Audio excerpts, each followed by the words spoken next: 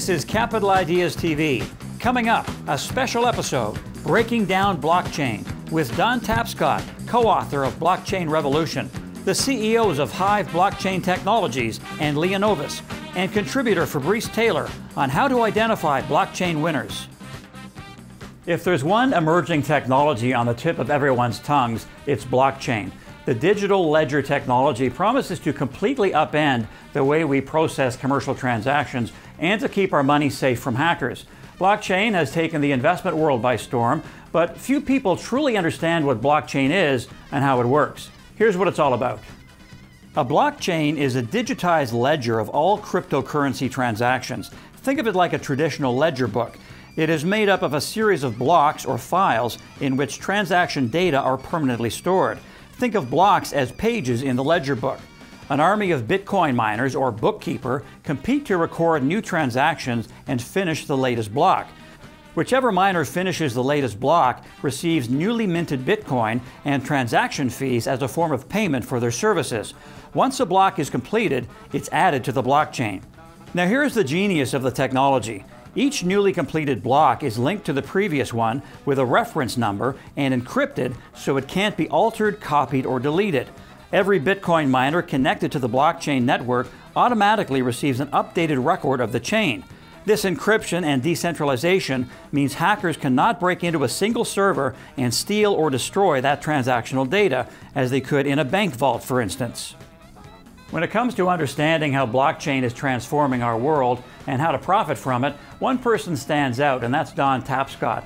He's a technology evangelist and best selling author who understood the power of the internet years before it became a crucial part of our economy. Tapscott thinks that blockchain can have a similar impact in digital commerce, and he's written a book about it along with his son Alex called Blockchain Revolution. Here's my chat with Don and how investors can capitalize on this transformation. Don, you've said that blockchain could be as significant to the world as the internet has been. Why do you say that? Well, actually, we view it as the second era of the internet. For 40 years, we've had the first era, an internet of information. But when I send you information, PDF, PowerPoint, email, I'm actually sending you a copy. And that works great for information, but when it comes to things that really matter to the economy, like assets, stocks, bonds, money, intellectual property, votes, carbon credits, our identities, copying those is a terrible idea. You don't want someone copying your identity, your vote, or your money. So uh, the way that we handle this in society is through big intermediaries that perform all the transaction and business logic of every type of commerce. They clear and settle transactions, they keep records, and, and uh, there are growing problems. So enter blockchain. For the first time ever, we not only have an internet of information, we now have an internet of value. Where anything of value from money to votes to music can be stored, managed, transacted in a secure and private way. And trust is not achieved by a big intermediary, it's achieved by cryptography and by some clever code. So that's why um, Alex, my son Alex, and I call it the trust protocol. Trust is native to the medium. Now, in your book, Blockchain Revolution, in your TED Talk, and in your speeches, you cite five real world examples as to how blockchain can change the world. And one of them, well, they're all interesting, but the one that uh, is very visual, I think, is uh, when it comes to remittance, uh, where people are sending money back to their home countries. Explain that. Well, this is the biggest flow of money from the developed world to the developing world. It's upwards of a trillion dollars, more than foreign aid. And um, right now, well, I'll give you an example. In Toronto is a housekeeper named Annalie Domingo. And for 22 years, she gets on the bus, cashes her check, gets on the bus, and the subway, and the bus goes to the Filipino Mall where the Western Union spe uh, specializes in the Filipino diaspora. And this is people have left their ancestral lands, they send money back home. It took her four to seven days for the money to get there and she got charged on the average of 10%. So over a year ago, Anna Lee, using a blockchain-based tool, sent money directly from her mobile to her mom's with no intermediary. And when it arrived on her mom's and was instant, and uh, her mom sees a bunch of tellers driving around like Uber. And there's one that's seven minutes away. He's five stars. Clicks on him. Guy shows up at her door, gives her Filipino pesos. She sticks him in her pocket. The whole thing is 1.5%. So that would be one of actually hundreds of examples that we're working on right now in, in the Blockchain Research Institute. So that's an example of the financial services industry being disrupted. We also know that major banks are working on blockchain platforms, but I'm curious, are they truly engaging it or do they, do they fear blockchain and do they see it as a threat? Well, they're different levels. A lot of them view it as a threat. Uh, Jamie Dimon said Bitcoin is a fraud. A fraud, right. Last week.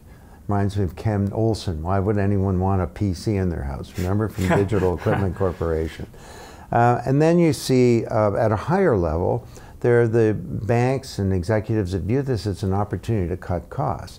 And there sure are opportunities. I mean, you tap your card in a Starbucks and, and a bunch of messages go through six companies using ancient technology, each with a counterparty risk and a cost. And three days later, it goes back and a settlement occurs. Well, with a blockchain, the payment and the settlement would be the same activity. It's just a change in the ledger. So the, a lot of smart banks are thinking, whoa, that's an opportunity to cut some costs. But the real smart ones are not looking at it like any of that. They're looking at it strategically. How could a whole new internet of value enable us to create completely new products and services for customers to enter into whole new markets, to attack uh, new forms of competition that are coming from these new ways uh, in very powerful, uh, in, a, in a very powerful fashion. Now, Don, uh, Bitcoin is the most well-known, most popular cryptocurrency. It's at an all-time high recently. Mm-hmm. But is there a bit of a mania building up around Bitcoin, cryptocurrencies, and blockchain? And if so, does it concern you? And what are the risks? Yeah, this is 1994 and there was a lot of hype and mania in 1994. And sure enough, you know, six years later, there was a correction that occurred when the dot coms crashed. But don't confuse excitement and even hyperbole with uh, the fact, with, with what some people say that this is just a bubble. It's tulips in Holland. You know, it's not. This is the biggest innovation in computer science in our generation. And and we're in the very early days of this. Sure, there'll be volatility, as there has with Bitcoin. They'll be up and down and so on. But the arc of this whole thing is to go up for decades. Now, in terms of uh, blockchain companies and uh, the various sectors that are being influenced, uh, what are the most logical models and, and, sectors that, that will be successful? Who will be the winners and losers, or, or is it too early to tell that? Well, in every industry, and at the uh, Blockchain Research Institute, we're looking at 10 of them. Um, there are companies that are moving quickly into this space and benefiting, and the, there are the laggards. And, and um, so in financial services, it's very uneven. Uh, the Canadian banks are actually pretty good um, in using this technology, and, and you'll see lots more exciting things coming from them. But you know, you look at something like electronics manufacturing. Um, the, the biggest company in the world is Foxconn. They make your mobile device, whatever it is, and they make your computer and so on. They're moving to a blockchain for their supply chain. And then you look at health. You've got, we're working major health networks that are building a patient identity on a blockchain that before you, you leave the hospital after a radiology report, your x-rays in your record and you own it. So um, marketing, retail, uh, every energy and resources. Um, uh, Barrick Gold is one of the members of our research, and there are really extraordinary things that are happening in, in the resource industry using blockchain. So it's, it's too early to tell, but as with the internet in the first era, there will be not only winners and losers, whole industries will be completely transformed by this, I believe. If you want to get a sense how giddy investors have become about the potential for blockchain, look no further than this chart. It was put together by CB Insights, which has been tracking since 2012 Bitcoin and blockchain technology investments. Back in 2012, virtually no money put into those two sectors, but fast forward four years, you're looking at 1.5 billion in total, and the deals are getting bigger, and the amount of deals getting bigger as well. 550 million dollars in 2016 across 132 deals. Blockchain may be a cutting edge digital technology, but it's underpinned by one of the world's oldest activities, and that's mining. The blockchain ecosystem relies on so called Bitcoin miners who process transaction data in return for cryptocurrency. Also, like traditional mining, Bitcoin mining takes a lot of heavy lifting and expensive equipment, in this case, computing power. Bitcoin miners need to solve a complex mathematical problem in order to win the reward for adding a block into the blockchain. Whoever solves the problem first earns the spoils. That set off a computational arms race in the industry in which ever stronger computers are needed to win those block fees. That means expensive upfront costs, electricity bills, and warehouse rentals. Hive Blockchain Technologies is aiming to become the biggest Bitcoin miner of them all. The company owns a cryptocurrency mining facility in Iceland and it operates around the clock. It also has options to buy four more. Hive CEO Harry Pokrandt explains why Bitcoin mining is so lucrative. Harry, is it an advantage that Hive is first out of the gate as a public company offering investors uh, exposure to both blockchain and cryptocurrencies? I, I think absolutely it is. Uh, I think we're lucky enough to be the first out the gate. I think that there's there's not really many ways for, for investors to to get exposure to to the crypto world. I think we're we're somewhat unique because uh, we are on the mining end of it. Um, and I think that uh, over time, the mining mining crypto, I think mining blockchain will also at some point become quite quite a large portion of the market uh, that we can chase after as well. So you have two facilities uh, in very cold Iceland, uh, and, and, that's an advantage. You can tell us about that. But also, you have options to buy three more from Genesis Mining. You have 32 million in cash. So should we should we assume that at a steady pace you're going to buy those facilities? we're yeah, we're not getting paid to sit on the cash. So yeah, we'll be we'll be deploying that as as quickly as we can and and and the intent and, and the business plan is to grow capacity as, as quickly as we can.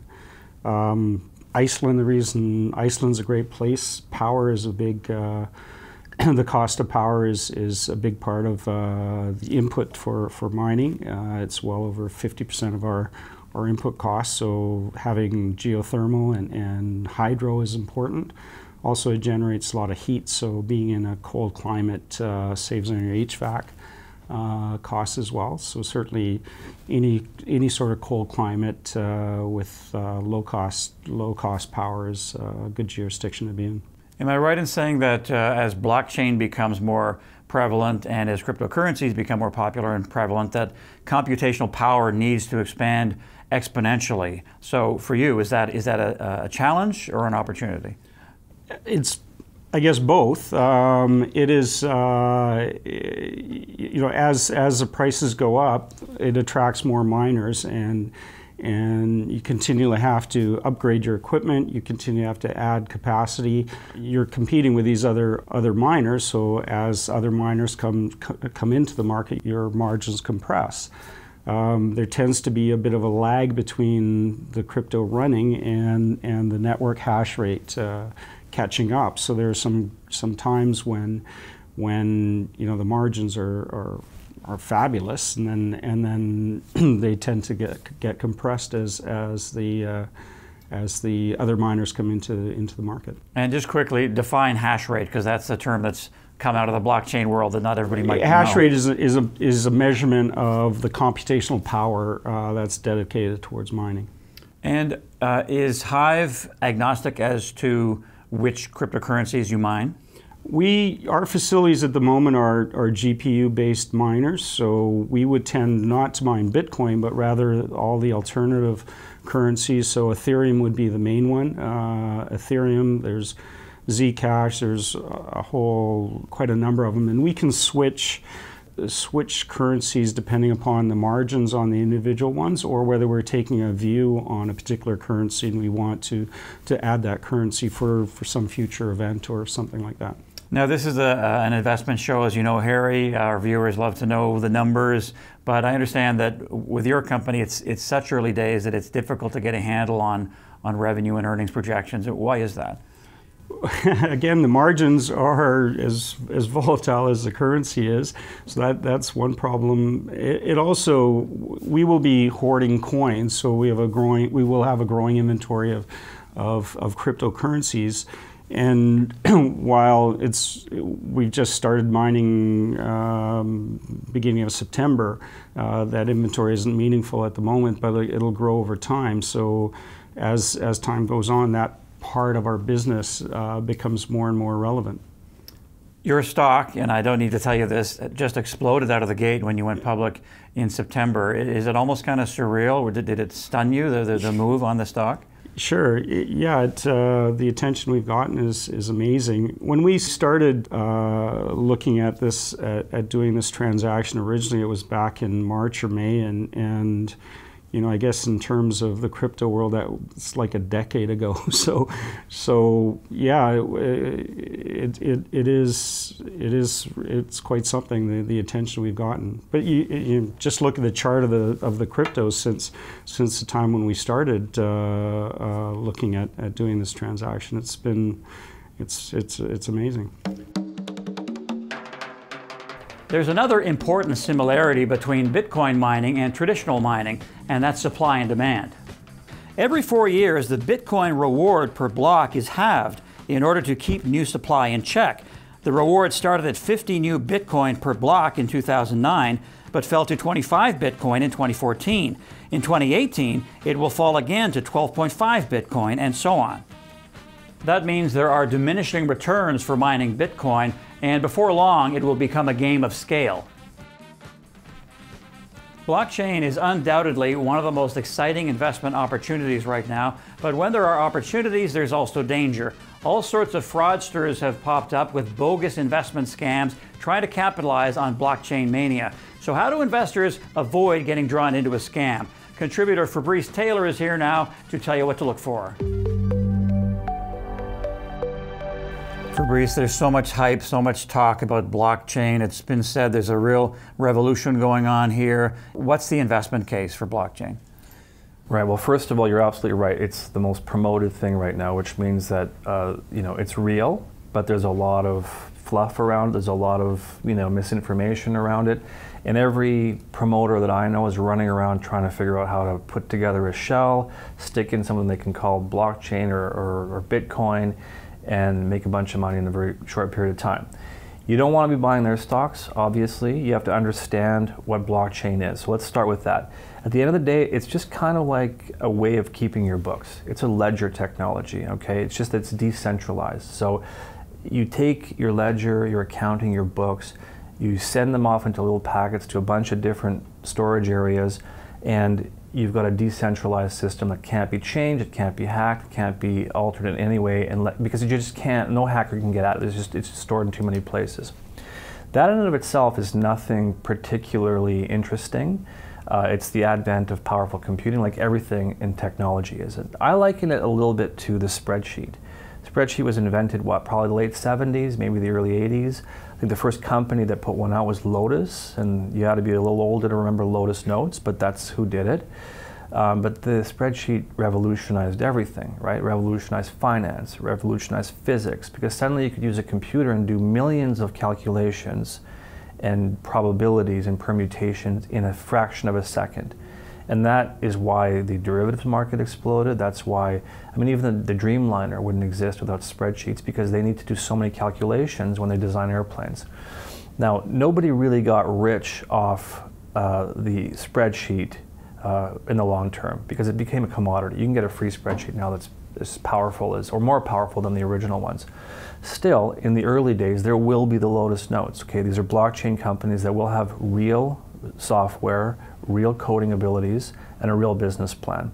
And what you want to look for there is people who have an application. They can tell you, we're doing blockchain for this specific purpose, and here's how we we're going to sell it, and here's our potential clients, and here's the problem we solve. If you can't answer that, you don't want to be anywhere near it.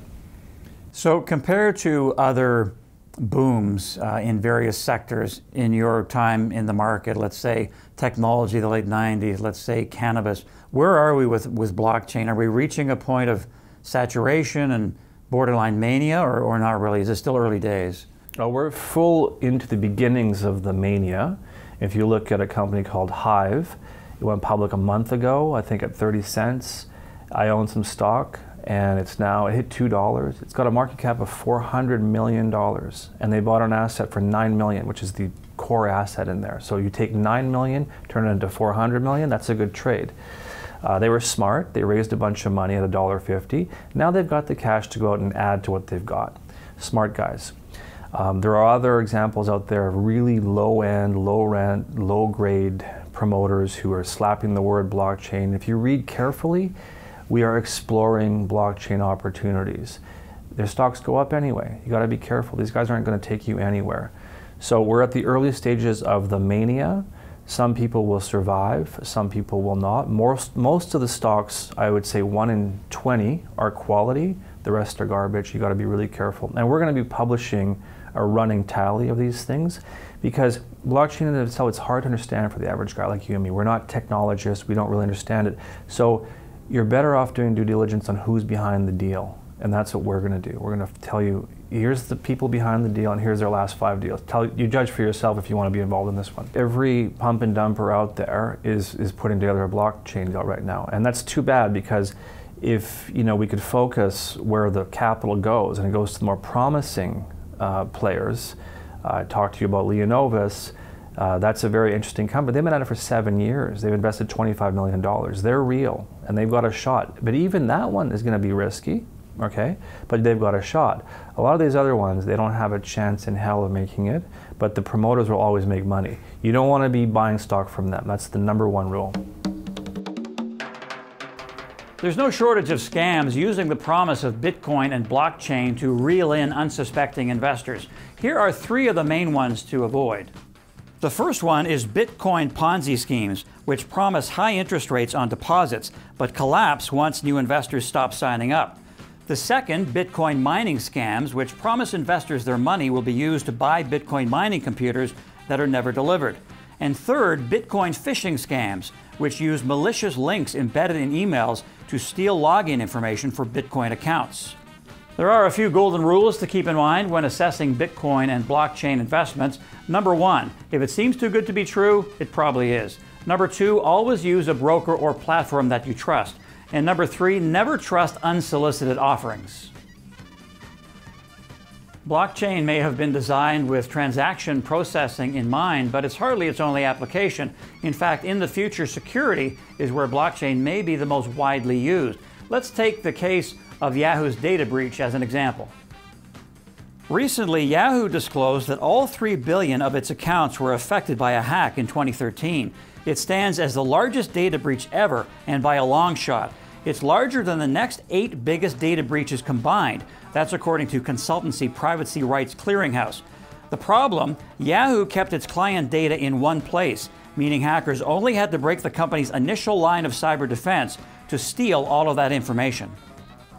Leonovus is looking to use blockchain technology as a hack proof second line of defense. What it does is it encrypts its client's sensitive data breaks it up into millions of pieces and spreads it out across all sorts of servers. That way, if a hacker finds some data, they probably don't know what they have and they won't be able to alter it anyway.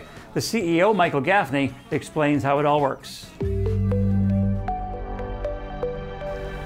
Michael Leonovus has been in distributed storage for uh, a long time, about a decade now. Mm-hmm. You've, You've got, got a bunch of patents. Um, blockchain is hot, as we know, and as we were talking about before uh, we started this interview. Explain what your technology is in, in, a, in, in layman's terms so we can all understand it. So the easiest way to understand it, Mark, is that if this is your data, we take your data, we put it into our digital blender, if you will, and we we slice it up, we dice it up, we bleach it, we add some stuff to it, and we make basically a digital smoothie. And we take that, that, that data, which is now a digital smoothie, and we disperse it across numerous storage nodes throughout your organization. It can be inside the organization or it can be outside the organization. what I mean by that is you could use all the servers you have inside as well as maybe cloud services like from Amazon or Bell or Rogers, any number of things. Um, and if somebody steals one of those nodes, they get just basically a digital smoothie. You get nothing. Now, you've designed your system on the assumption that current security networks and systems don't work. Why did you do it that way? Uh, we felt that the uh, issues of ransomware and data theft were, were only increasing. Therefore, if we're going to build a technology, let's build it with the assumption that physical and network and, and, and security does not work. And if we can build something, when we talk to somebody and say, all that investment we've assumed doesn't work, it doesn't mean don't do it, of course, but we've really got something if we can tell it and actually deliver a product that, that, that makes that assumption. And now you're tacking blockchain onto your technology. Why is that so important in, in data storage? And, and tell us about uh, uh, the actual act of, of tacking it on and selling it to customers. Blockchain's promise, not only in cryptocurrency, but in smart contracts, will make it very easy for a customer to go and validate that a, that a service provider, like Leonovus, is actually delivering what they said they were going to deliver, because they can go check the smart contracts. In addition to that, we can take uh, uh, complex pieces of, of, of, applications, if you will, put them inside a blockchain and make the application itself even more secure. Investors are watching this, they're thinking, okay, that's interesting. Where are you in terms of revenue and, and profitability? You're just starting in that phase because this is basically a turnaround. It is a turnaround. The company's had over $20 million invested in it. We've got 45 patents or patent uh, filings. Uh, the customer pipeline just started in August. I took the company over last November. Uh, we expect to close one new customer a month. The sales cycle for large enterprise customers is about six to nine months. We believe that the customers we're putting in the pipeline right now will be eventually in the one to two million dollar revenue range annually. Of course, we'll grow that. It'll take a year to grow it up to that. And uh, is it too early to, to make projections into 18, 19, 2020 in terms of what, what the revenue looks like and so profitability? I'll give you the model okay. is that where each salesperson is, is, is tasked with finding a new, a new customer a month. I just mentioned that re average revenue, call it a million dollars. So over a period of two years, that, that salesperson might find 20, uh, will find hopefully 24 customers. That's worth $24 million. And we're in the process of adding you know, four or five salespeople to the team. So it is my goal, no guarantees, let's be honest, but it is my goal to build a $100 million plus revenue company in three years. And uh, give us the investment case here. You, you have been, uh, to a degree. Sum it up for us. Why should investors be interested in, in? So currently we're trading at about uh, two times uh, invested capital. By the end of this year, we'll have about $25 million invested. The current market cap of the company is around $40 million. So that's a very, still a very attractive uh, um, uh, investment opportunity. And uh, you know, if we truly are delivering on this $100 million revenue path, I think a lot of investors know exactly what kind of multiples a $100 million software company is worth. So there's still lots of upside for investors. And lastly, Michael, is there one thing we haven't talked about you'd like to get across? I think there's a whole bunch of follow-on technologies, Mark, that make will make the offering even more exciting and more differentiated in the future. For example, we have a, compute, a distributed compute solution that is quite interesting. Uh, for people who have looked at the ICO, that's the initial coin offering market, I suggest they look at a company called Filecoin and then look at Leonovus. We have exactly what uh, Filecoin says they're going to build, which will take them two years to build. We have it right now, and they raised almost $250 million in two days. The myriad applications for blockchain technology has analysts predicting big things for the market's growth in the coming years. In December of last year, consultancy firm Grand View Research estimated the global blockchain technology market was worth about half a billion US dollars in 2015. By 2024, it sees the market soaring to $7.7 billion. That would be a 15 fold increase in just nine years.